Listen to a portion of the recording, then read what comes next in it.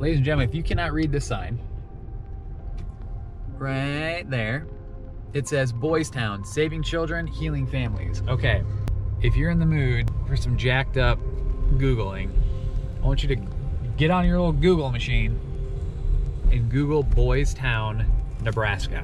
What you're going to find is a, a location in the Midwest riddled with heavy controversy. Ladies and gentlemen, welcome back to It's All-Knee. On today's video, we are going to be giving an update on a video I did previously a number of months ago where we were driving through a place called Boys Town. And this is in the midst of Omaha, Nebraska. Boys Town is surrounded by a bunch of conspiracy and controversy, exploitation, and that video received quite a bit of attention and I actually had some Boys Town alumni reach out to me and asked for the opportunity to share their side of Boys Town, Nebraska. They wanted to touch on their personal experiences there. So I got together and I talked with them. So we're gonna jump right into their interviews, give them the opportunity to share their stories, share their perspectives, and talk about what Boys Town was like for them individually. So without further ado, let's jump right into this update video for Boys Town, Nebraska. Okay, how's that? There we go, man. I see ya. you. It's been a while since I've had to use that. Yeah. Hey, I'm not a I'm not a pro at it either. yeah, we're both learning here. Yes, sir. Yes, sir. Hey, man. Thanks for uh for wanting to do this with me. I really, really appreciate it. Oh, no problem. Just uh, I'll just be straightforward with you. Um, you know, if you do this video, that um, there's going to be uh, a lot of powerful people that's not going to be too happy. Um, I, so, I figured. Okay, let's do her. So go ahead and just introduce yourself and give the uh, basically the viewers like what your attachment to Boys Town is. And then from oh, okay. there, just go ahead and dive into your stories. Yeah, my name is Howard Lacy. I went to Boys Town in 1988. I graduated in 1992. I then worked for Boys Town um, for a while. And uh, since then, um, you know, I knew kind of what was going on as I got all grown up and started working for them. I saw more that was going on and um, never worked uh, for them again. Um, they they tried to hide a lot of stuff, but they couldn't hide everything. And um, but anyway, I'll get into that as you ask your questions. Um, but that's uh, pretty much that. Okay. So when we first jumped onto the video here just now, you said, just so you know, if you make this video, there's going to be some pretty powerful people that aren't going to be very happy about that. And you mentioned to me in the past with our conversations back and forth that there's a lot of things in my original video that were missed or maybe misconstrued or misunderstood. So I'd like for you to touch on that just so that we can reference that old video and talk about you know more of the truth because you have hands-on experience with Boys Town, both as a participant and an employee. So just go ahead and touch on those things for me, just to give the audience a better idea of what actually happens at Boys Town. What's supposed to happen at Boys Town and what actually happens at Boys Town are two different things. Um, I saw your video, and a lot of things, you know, you've done, you know, some of your research, I could tell, and you touched base on a few things, but there's a whole lot that you missed. And, you know, even John DeCamp missed uh, in his book way back then. And if he'd known some of these things, it probably would have helped, you know, bring light as to what was really going on. But there, there, there is, there's a whole lot of cover up. There's a lot of powerful people, um, such as like, you know, how did they get the boys, you know, and girls, um, and out of those homes without being spotted. Well, underneath the old homes, all the way to the field house of the high school, there's actually underground tunnels hmm. that stretch, you know, through those. And a lot of people don't know that, and that's how they get them out. But when it comes to new homes um, that were built afterwards, they're like, say, over by the water tower, um, they don't have that access. So those have to be taken right out.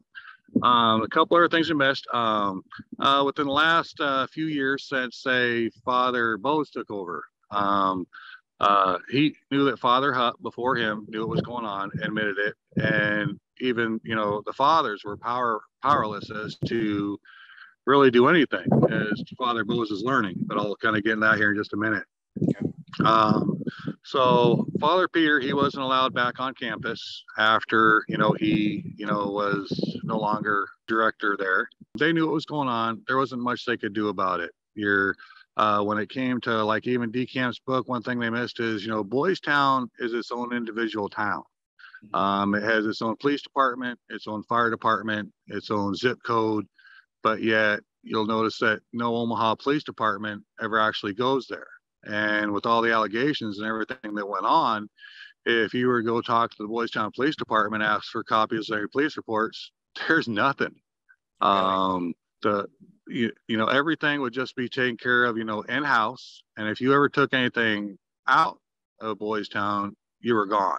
If they thought as an employee that if you were going to rat on them, um, they had a high turnover rate, except for you know a select few, which you know a lot of them are dead uh, in nursing homes now, so they're not a threat to me anymore because they're dead and old and can't do much. So now I can speak up without fear of pertiny or appraisal because you know um, they're they're past that point in their life. Right, right. But if you were to follow, you know, just like in the book, if you're to follow the money and see where that went, um, it's going to open up a whole lot of light to you. Uh, some of the things that have changed more recently, and you can uh, check this out on Father Peter's website before he died. It's still up. Uh, Father Boes no longer lives on Boys Town. Alumni are not allowed on campus. Father Boes gave himself one very healthy raise of six hundred some thousand dollars. He also doesn't, you know, have dinner with the kids and things like that. The amount of money they've got is just huge. Um, they are also no longer tax exempt like they used to be. Okay. There's some different theories as to why they lost their tax exempt status. As you saw in the main media when it comes to the priests with these kids, uh, they had no credibility. They were just looked at, hey, you're a criminal, you're a child, and anybody that's under 18 that's a youth really doesn't have any rights their rights come through their parents so they knew that you know any priest all the way from all over the world i mean from ireland france you name it they come to boys town and they'd be able to do what they wanted and you know even the father at the time he couldn't do anything because if so he'd have to face other members of the catholic church and they didn't want to make each other look bad but then it goes deeper as to um, one day when I asked Father Peter, I said, So who are your bosses? And he explained to me that they're off of the Air Force Base and it's basically our military and our federal government. Uh, stretches so far. Uh, shortly after I got done working for Boys Town, I went in the military. Uh, first place I was stationed at was Fort Jackson, South Carolina. Well, two star general of the base was a Boys Town graduate. And, you know, he kind of knew what was going on. And um, I mean, fact check all this stuff. You'll find out that, you know, everything I'm saying is dead on. It's not, you know, made up. Fact check everything. Anybody that's watching this video. Right. But Boys Town isn't what it was originally meant to be. Somehow along the way, it got corrupt. Nobody wanted to say anything. Um, there was a few employees back. I believe his name was Mr. White. He was one of the teachers. He went on the media. He tried to tell them what was going on. They scared him with so many lawsuits. The next day, he was back on air retaliating, pulling back everything he said because he was just flat out scared. That's just kind of the highlights. And I'm sure you got a lot of questions, so I'm going to kind of let you go ahead and ask away. Okay. So throughout your your conversation and you know kind of reflecting on things, you've mentioned what's going on at Boys Town, and they knew what was going on at Boys Town. As a person that experienced Boys Town personally, can you expand on what you mean by that for the audience who may not be familiar with this? Oh, you bet. Yeah, Boys Town. Um, I was a tour guide, so uh, Boys Town, you know, originally was uh, started in Omaha with uh, just you know five kids. Then it grew in, you know, by Father Flanagan, you know, as mainly an orphanage, and then it changed to be a uh, you know orphanage slash juvenile detention center. And now you don't see much orphans, but you see a whole lot of the, you know, kids that don't have any credibility. And as far as what changed it, um, I think it was money. And I think, uh, you know, just like the politics we have today, uh, everybody's kind of got dirt on everybody in that circumstance. But the ones that are true victims are the kids. So you mentioned the underground tunnels, and obviously, if you're not a part of that community, it's probably not something that's widely known to the general public that there's tunnels that are just kind of mazing around underneath Boys Town. What is the the official use for those, and is there any other uses that you're familiar with or that you know of that they were used for in other ways? Oh, oh yeah. Yep, absolutely. Yeah, originally they weren't intended for anything bad at all. Actually, they were made to, for, you know, an ingenious thing where, you know, when Father Flanagan uh, you know, built those, you know, there was, you know, World War II going on and everything. And if there was ever, you know, any kind of bombs or anything, you want the kids to be safe. And so that they could still function, go house to house to, you know, building to building. So they made sure that there was tunnels built underneath from all those houses. And over the years, you know, they knew that the Cold War stuff was over, not much use for them. And so they were using that stuff as, uh, you know, how to get the kids in and out. When you say to get the kids in and out, can you expand on that a little bit? Oh yeah, in the middle of the night, uh, taking to Washington D.C. Um, myself and I haven't talked to Johnny, so I won't say his last name. But uh, Johnny, I mean, we got great grades in school in 1991, and but you know we all got straight A's, but all of our grades were just uh, you know general studies like your normal math. And then him and I both got letters from Washington D.C. saying, "Hey, you know, with your great grades and everything, you're invited to the Young Leaders Convention of tomorrow. Well, my family teacher thought that that was kind of weird. And so he says, no, you're not going.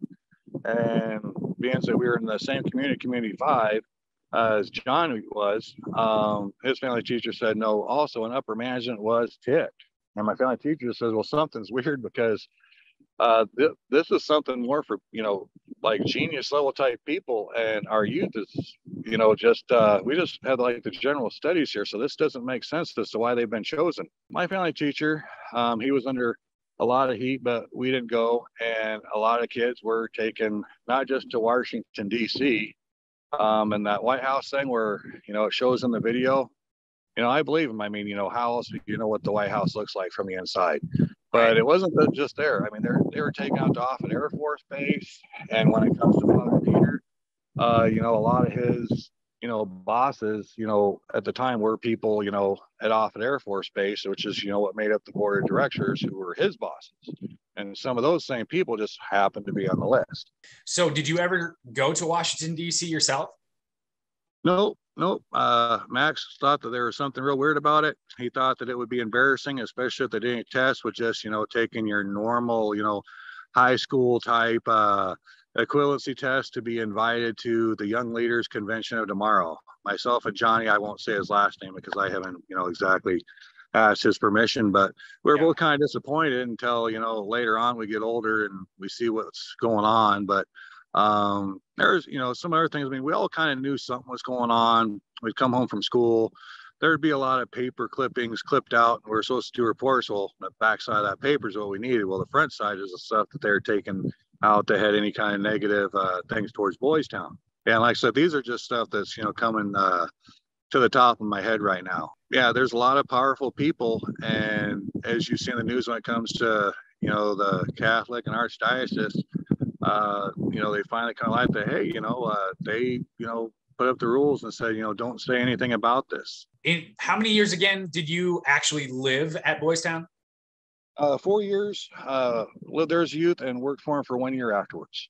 Okay. During your time there living as a youth, did any of your peers ever go to Washington, D.C., or have any personal experiences that are more on the negative side of Boys Town? Oh, how to put this? Well, the kid's place that I took when I came there in 1988, he had was complaining about the same stuff that was going on. This is one of the kids that they haven't mentioned in the books or anything.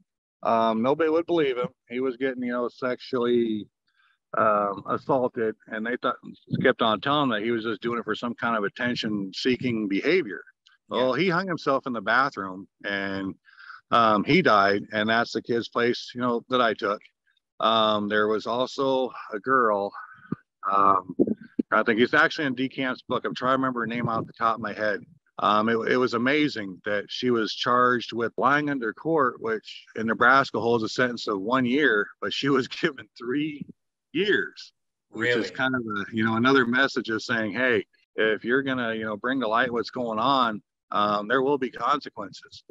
But now you know a lot of them have you know died and uh, gone on, like I said. But as far as myself personally, I didn't have to really experience it except for, oh, I guess you could say three times. For me, it was uh, oh, two guys, and they happened to be dead also. Uh, his name was Alan and uh, Troy Bridger. They were homosexuals. They were hired by boys to work in the summertime.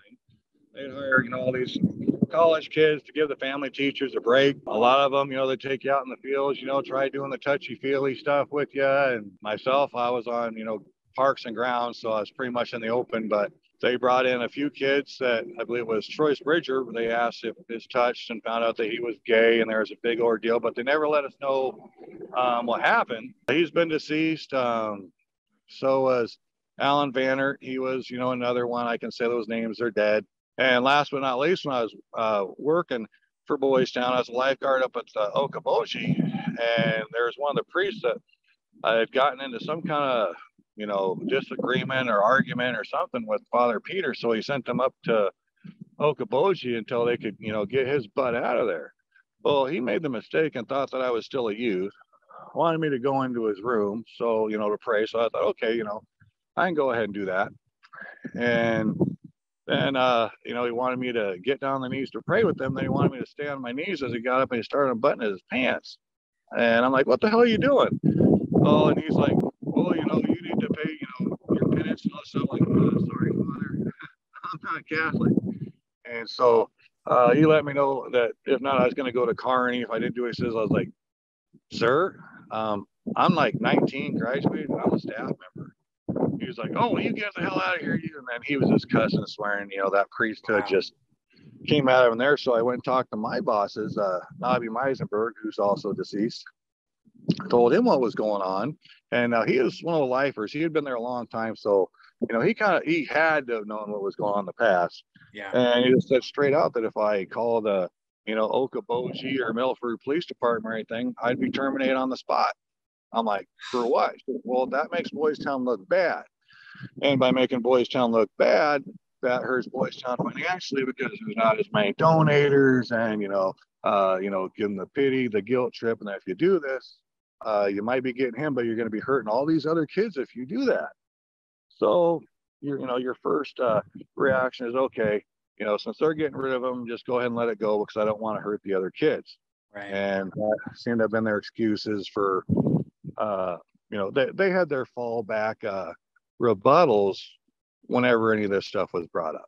To be able to talk to someone who's had a personal experience with the truly negative side, the, the negative stigma of Boys Town is is truly impactful. And that's why I wanted to talk to you, you know, so bad. After you commented on the video, I knew it was just an absolute must to talk to you. Because again, it's it's one thing to go there and again, my original video was just, it was my second time driving through Boys Town. And I got a lot of scrutiny for my emotional reactions to just like the overall vibe that I was getting from the place, which I totally understand. Um, I'm an emotionally driven person and I'm not one to hide my reactions to anything. And I don't make excuses for it. It's just who I am. Um, but to be able to talk to someone to validate, you know, some of those negative feelings that maybe we picked up on. Sometimes when you deal with strong and negative stigmas that have been around locations for years, you can just go and be in the presence of them and you can feel that reverberating around you. It's just like it sticks. And I just, the first time I went there, I had the same exact feeling as I did the second time I went around. And to find that documentary, to do some more research, and then to talk to you, it's it just you know takes some of those puzzle pieces and starts to put connections to them. And i guess as as a closing to our talk here as someone who is living in boys town as someone who worked for boys town and is now separated themselves from boys town at least from the positive things it's more towards the negative stigma what would you say to people that might come on this video and say, How dare you talk down to Boys Town? They're doing so many great things and it's such a great organization and they've helped so many people over the years. What would you say to those people who are going to come and scrutinize a video like this to say, Hey, listen, open yourself up to the idea of these things actually were happening. And this isn't just a bunch of BS and people on the internet, you know, throwing fluff on a screen. Oh, is what I would say is is it Boys Town that was good for you? And I've said this, you know, to some of my friends, I got that same feedback. Or was it your family teachers? Because I still keep in contact with my family teachers. And, you know, he, you know, kind of knew something was fishy, you know, as I was saying, with that, you know, go to Washington, D.C. And some family teachers were having sex with their kids. They had bad ones. So was it Boys Town or was it the family teachers you had? Because Boys Town, it's it's just a town, but it's how the town's run is what was hurting the kids. But there's some family teachers that were able to keep their kids protected, and others that were just there for the paycheck. And those are a lot of the kids that got um, molested and violated, and you know put on drugs. And my comment would be, uh, rethink it, fact check everything that I've said because I'm pretty sure you're going to find it dead on. If not in the Omaha newspaper, by stopping at the Boys Town Police Department, by talking to you know some of the other uh, alumni. You know, they're on my page. You know, feel free to friend them and, and ask. I mean, a lot of them, you know, some of them will get you know offended. Well, yeah, Father Peter was great. Well, you only saw Father Peter on Sunday for about an hour during the sermon. Other than that, you really didn't have much to do with them. It really boils down to if you're protected, the type of family teachers you had. Myself, I had some really good family teachers, so um, they kept me safe. Awesome. So basically, in, in a nutshell, it's there there was truly good things with your experience at Boys Town. Not everything was bad. Not everything had a, a negative stigma attached, but you experienced enough to be able to say, listen, the negativity that comes from Boys Town is valid. You just have to look in the right places to find it. Right. Unfortunately, uh, now last but not least, a lot of the good family teachers. I mean, you know, there's a guy that graduated uh, from my house. He was two years older than me. He just got done working for Boys Town he lasted there about a year and a half. He saw what was going on, but no accountability towards the kids or the staff, and he quit. I just say from uh, the alumni standpoint of view, we're we're not happy with what's being um, done there. It's so secret. I mean, you can't even go on campus. Uh, now since your video hit, I'll just tell you this: if you go on campus, I can gar- almost guarantee you if you're there for probably 30 more minutes and that police car comes by, he's probably going to grab you. You're seeing it from the comments. You're already on the you're on the list. Yeah. Yeah. And I've received comments already from people that either have relatives there or are there themselves or have had friends from Boys Town share it with them and have reached out to me. I mean, it, that's that's the world we live in today when we live with everything out there for people to comment on you know, I open myself up to that and I'm, I'm open to that scrutiny and to those comments. Um, you know, I, by any means, I never meant harm to anybody. It's just, I'm, I wanted to shed light on these things that are clear and, and open to the public if you look and that they do exist.